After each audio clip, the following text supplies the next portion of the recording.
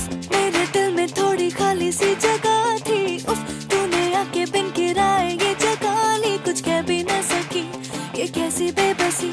You Chupke Chupke आया, बिन बुलाया मेहमान। उफ, मेरे दिल में थोड़ी खाली सी जगह थी।